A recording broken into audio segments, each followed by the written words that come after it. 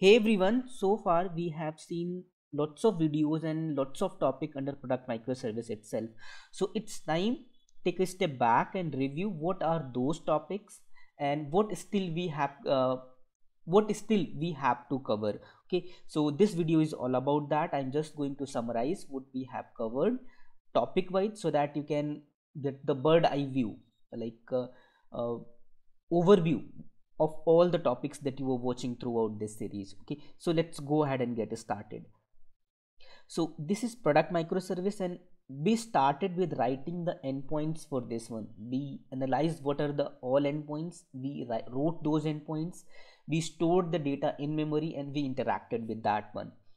Next we integrated the mongodb so that we can persist the data in the database and we could see whenever product microservice is going down it is crashing there is any problem with that we do not see any impact on the data that is why we integrated mongodb so that we can store the data okay?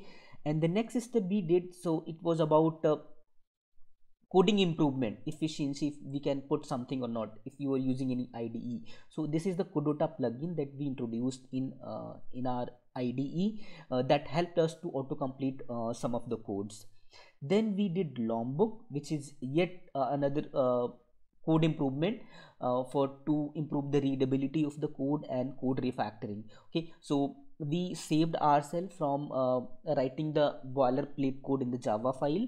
And by using the lombok it was able to generate those codes automatically while generating the class file from the java files. Okay so that made our java files more readable then we did the data validation. What are all the data that is being passed to the service? They are properly validated and sanitized.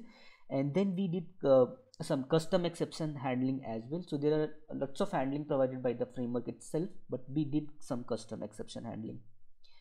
And then the it was very important part that when we are developing a microservice anything we are developing and server is running if we are doing any code change all the time we had to restart the server to so that the new code changes took uh, so that new code changes can take effect. But with this video that we introduced spring boot dev tools uh, we were uh, uh, we were able to hot uh, swap the codes uh, without restarting the service okay? So that uh, that like saved some time for us like that stopped us from restarting after every single line of code change and then we understood the profiles when our application is going through from uh, our application is going through from uh, de uh, development dev environment to test environment to prod environment. Then we understood the importance of the profiles and we uh, did how to integrate with our product microservice.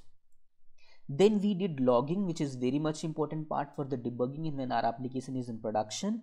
So we did one centralized logging that saved us from putting the log files at every controller every server service level. So we did all the we did we got all the requests and responses from one place using the filters and then we see, saw the actuators to monitor the health info and other important information about those one.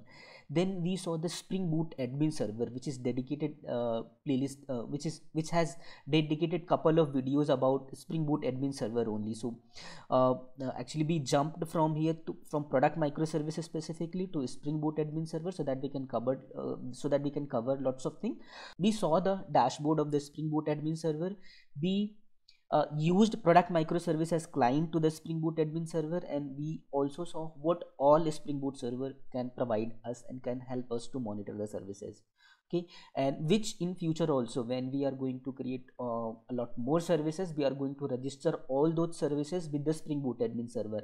And if you have watched these one you will get that very easy and very easy to understand and next we also saw the circuit breaker analysis. With at this point of time whether circuit breaker analysis circuit breaker uh, is uh, is applicable in product microservice we should implement it or not. So that was in analysis mode for for five minutes that i explained you here.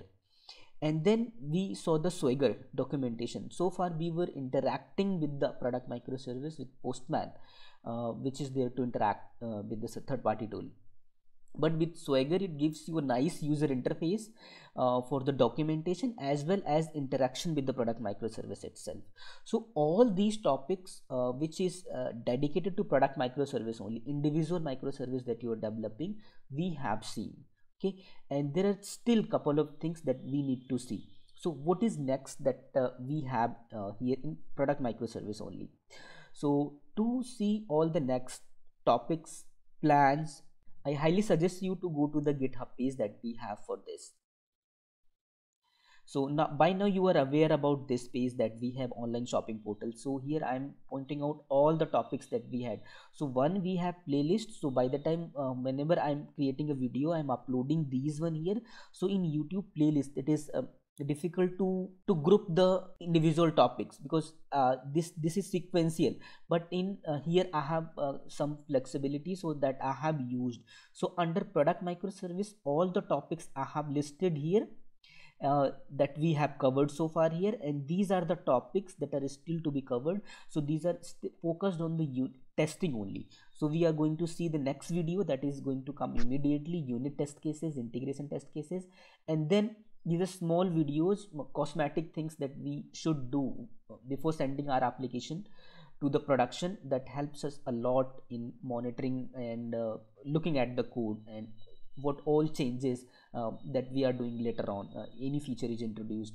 So these are going to help us a lot in those things. So we are going to do those things in couple of videos and then I was talking about grouping the topics, uh, right? So Spring Boot admin server, I have uh, created separate headline for this one and and put the videos under this one. So if you are only interested in Spring Boot admin server, you always can come here and see the specific topic with that one. All right. So this is what we have covered and this is what we are uh, going to see. So one very important uh, thing is that securing the endpoints the security part that is still pending with the product microservice.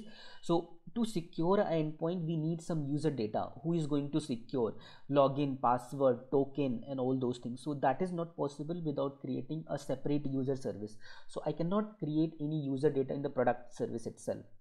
Uh, that should be modularized and come uh, should uh, should go around the boundaries of the microservices. So when I have covered this writing unit test cases and all those things, we are going to see the user service, which is going to help us to store the user data. It will uh, give us the flex, give us give us the functionality to register the user and validate the user and create the tokens, store the tokens, validate the tokens. So all the security stuffs we are going to implement into that one, and then we will use that with the product microservice. So we will be having two microservices at this point of time. So they will communi communicate and do all those things and they will secure itself. Okay? So these are the uh, uh, immediate plans that we have. You can see after that you will be seeing all the videos about the topics that I have listed on this page. So it is going to take some time, but by the time I will be, I am going to complete all these that I have listed here and all the necessary topics uh, that I have still not figured out. And if you mention that in the comment section and all those things. So that's all about this video. Uh, let me know what you think about uh, this series and all the topics that I'm covering in the comment section below. I'll see you in the next video. Till then take care stay safe. Bye bye